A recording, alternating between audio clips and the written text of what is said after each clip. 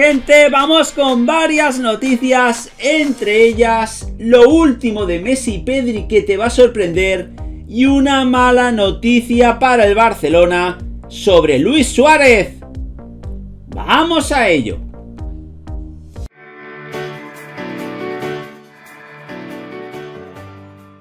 Hola de nuevo chicos, ¿cómo estáis? Bienvenidos de nuevo a otro vídeo para el canal. Vamos a analizar la última hora del Fútbol Club Barcelona. Vamos con varias noticias, por tanto te animamos a que te quedes hasta el final del vídeo, ya que nos dejes un buen like. Vamos sin más dilación a analizar la primera noticia y vamos a ver ya la fecha que tiene ya el próximo Barcelona Real Madrid. Las jornadas 29 y 30 de Primera División ya tienen fecha y hora. La primera se jugará del 2 al 5 de abril con excepción del derby entre la Real Sociedad y el Athletic Club mientras que la segunda se disputará del 9 al 12 del mismo mes. La jornada 29 de Primera División arrancará con el Levante Huesca el viernes 2 de abril a las 21 horas y concluirá el miércoles 7 con la disputa del Real Sociedad Athletic Club, el cual se retrasa unos días porque ambos disputarán la final de la Copa del Rey ese fin de semana. Lo más destacado será el Sevilla Atlético de Madrid, previsto para el sábado 3 a las 16 y 15 horas en el que los rojiblancos visitarán un campo crucial en sus aspiraciones para hacerse con el campeonato. Por su parte, el Real Madrid y el Barcelona, en vísperas del clásico, recibirán respectivamente a Eibar, sábado 3 a las 18.30 y Real Valladolid, domingo 4 a las 21 horas. Y en la jornada 30 será citado clásico, quien acapare toda la atención general. Está previsto para el sábado 10 de abril en prime time, es decir, a las 21 horas el Atlético de Madrid seguirá con su ruta sevillana y se medirá el domingo 11 al Real Betis en el Villamarín a las 22 horas. La jornada arrancará con el Huesca Elche el viernes y se cerrará con el Celta Sevilla. Por tanto, hay que marcar en negrita 10 de abril a las 21 horas, hora peninsular española, Real Madrid-Barcelona. Vamos ahora a hablar del Kun y es que el Barcelona tiene competencia para fichar al argentino. Desde hace varias semanas se habla de la posible llegada de Sergio el Cunagüero al Barça, ya que Joan Laporta ha dejado caer en varias ocasiones que este sería el delantero idóneo para reforzar el equipo la próxima temporada. El delantero argentino termina contrato con el Manchester City a final de temporada y podría llegar gratis al Camp Nou, pero las últimas informaciones indican que el equipo culé no es el único que se ha interesado en su contratación. De hecho, el Chelsea será su principal rival.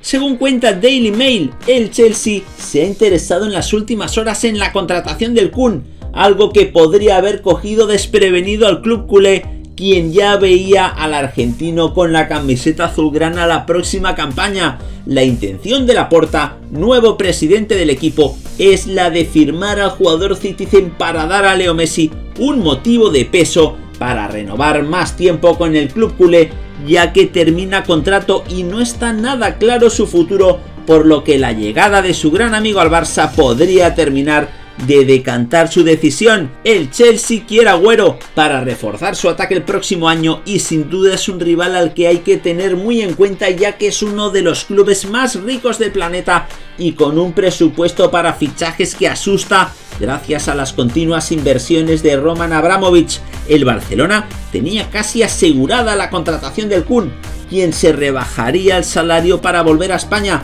aunque les pedía una prima por llegar gratuitamente que no hacía ninguna gracia al cuadro azulgrana, ya que su economía no está como para hacer esos tratos. A pesar de esto, todavía están dispuestos a incorporarlo a su plantilla, pero sin duda los londinenses lo pondrán muy complicado, por tanto, Abramovich se interpone entre el Kun y el Barça. Vamos a hablar ahora de Javier Tebas y es que ha desmentido la acusación de Freisa sobre el Fútbol Club Barcelona. La liga ha publicado un comunicado oficial sobre las declaraciones realizadas por Tony Freisa en las que aseguraba que Tebas amenazó con bajar al Barcelona a segunda división si proclamaban un presidente sin que hubiese depositado las garantías económicas. Al parecer, Tusquets, presidente de la gestora, les comunicó al propio Freixa y los dos candidatos restantes, Laporta y Víctor Font, que el presidente de la liga había amenazado con descender a la categoría de plata al equipo.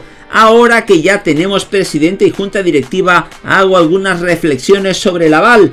En primer lugar, es una gran tontería que para ser directivo de un club deba responder personalmente y de forma objetiva a los resultados de la gestión. No ocurre en ningún otro sector de actividad. Esto es lo que ha publicado Freixa en una conocida red social. La respuesta de la liga en concreto de Javier Tebas Carles Tusquets no se hizo esperar.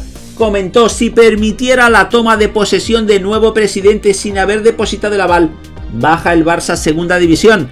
Esto es lo que Carles Tusquets nos explicó a los tres candidatos, prosiguió Freisa en su largo hilo de Twitter y añadió lo siguiente, dicho esto, espero que se trabaje ahora para suprimir este aval, que no solo es antidemocrático y distorsiona la gestión, sino que estos días ha sido motivo de comentarios injustos y oportunistas contra la candidatura ganadora de las elecciones. Freisa ha esperado a la investidura de Laporta como presidente del Club Azulgrana para romper su silencio en Twitter. Por tanto, Tebas que desmiente la amenaza al Barcelona que según Freisa se produjo. Nos gustaría también saber vuestra opinión al respecto. Vamos ahora a hablar de Luis Suárez. Y es que la eliminación del Atlético de Madrid a manos del Chelsea en los octavos de final de la Liga de Campeones ha supuesto una mala noticia no solo para el propio cuadro rojiblanco, sino para el Barça y es que, según recuerda precisamente a este respecto la información publicada por el diario Sport, el Barça dejará de ingresar 2 millones de euros por esta circunstancia. El motivo es la cláusula incluida en el contrato que llevó al ariete uruguayo Luis Suárez al Atlético de Madrid, la cual señalaba una variable por la que si el equipo de Diego Simeone alcanzaba los cuartos de final de la Liga de Campeones, tendría que pagar 2 millones extra al Fútbol Club Barcelona. Por tanto, el Barcelona que se queda sin esta cantidad de dinero. Y ya para acabar, chicos, vamos a hablar de una noticia sobre Pedri y Leo Messi. Y es que Pedri está siendo la gran revelación del fútbol español esta temporada. El canario es a sus 18 años uno de los jugadores con más proyección de Europa y es titular en todo un Fútbol Club Barcelona en el Club del Deportista, revista especializada en deportes, como su nombre indica, han querido saber más de él y le han hecho una entrevista en la que el 16 ha hablado sobre su conexión con Leo Messi, con el que espera poder jugar muchos años más y dijo jugar con Messi es fácil porque cuando se la das a él sabes que van a pasar cosas. Lo que trato de hacer siempre es dársela en las mejores condiciones para que sea lo más beneficioso para el equipo. Ojalá pueda estar cerca de él varios años. Sería genial que pudiera disfrutar de Messi y aprender muchas cosas a su lado, afirmó, para después explicar qué sintió cuando le conoció y empezó a jugar con él. Comentó lo siguiente, cuando estaba al lado de él, me impactó mucho al verlo, de verlo en la televisión o en un videojuego, casi no me lo creía.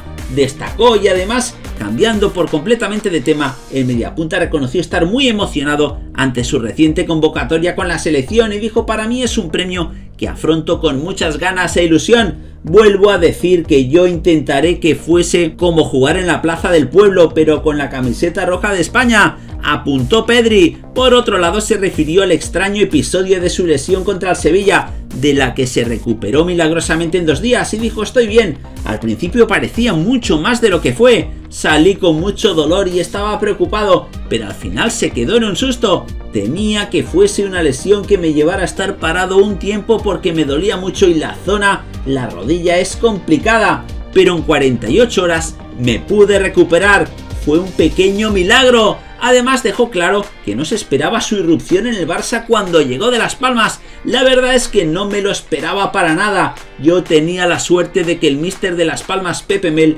me estaba dando minutos, pero vengo a un equipo tan grande como el Barcelona y bueno, yo pensaba en hacer la pretemporada y ver si podía quedarme y seguir trabajando para poder tener los máximos minutos posibles, pero lo que estoy viviendo para mí es una auténtica sorpresa. Por último, insistió por enésima vez que a pesar de su polivalencia, su posición favorita es la de media punta, un Pedri que está en un sueño jugando con Leo Messi al lado. Nos gustaría saber vuestra opinión al respecto y que por favor nos la dejéis en los comentarios justo debajo de este vídeo. Nada más por el momento, como siempre animaros a que os suscribáis al canal para seguir viendo todos nuestros vídeos y aquí os dejamos este vídeo más que interesante para que sigáis disfrutando de todas las noticias del fútbol. ¡Hasta la próxima!